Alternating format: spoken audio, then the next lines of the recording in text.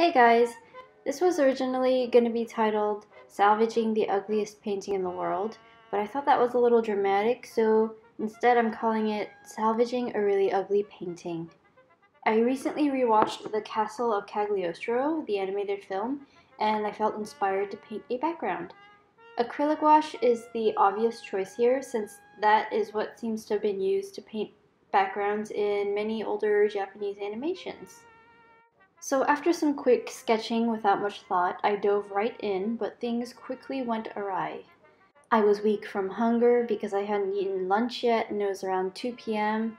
My mind and body weren't cooperating, so I had little control over the amount of water I was picking up and mixing, and thus the proper paint consistency could not be made.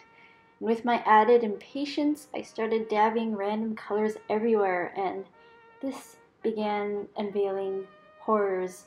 Uh, yeah, I'm being dramatic again. but it looked it looked horrible. Also, the sun was shifting in and out, which added to the craze. You will see later. The sun kept, the light kept moving around. I've noticed that in many older Japanese animations, the artists have sometimes chosen some weird color combos but they somehow end up pulling it off into an interesting final product that is charmingly gritty yet simple. And I was trying to do that, but um, it wasn't happening yet. Look up background art from 70s and 80s animations. You'll see there are some bold, sometimes clashing color choices. And animation art nowadays, I feel is so different the paintings can be so unbelievably pristine, realistic, and beautiful, like the art from Makoto Shinkai's films. Uh, if you haven't seen any of his films, I really recommend you do.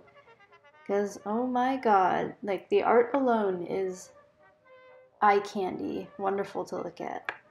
Gosh, I really need to stop moving my mic around so much because it's making all those clacking noises you hear. So around this point, um, I thought I wasn't really getting anywhere. There wasn't, you know, a vast improvement no matter what I did. But I took a few minutes of a break, and the acryla gouache paints continued to harden. Um, so I struggled to revive the paints with water, doing a lot of swirling action, and lo and behold, the proper consistency finally came about. And this is where the salvaging begins. It's crazy how adding some sharp line work can make the painting come alive. Doing this was an immediately noticeable improvement. Why am I talking like this? Voiceovers are awkward. Yee. Yeah.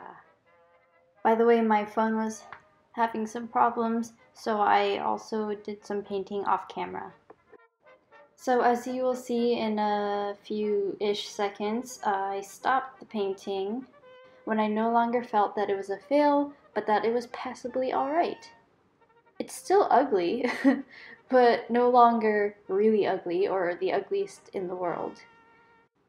So the lessons I've learned from doing this is, are to have enough focus to mix the right pink consistency. Uh, I still need to limit my color palette even more down to two to three colors plus white and black. And in order to focus, I should not work on an empty stomach, ever.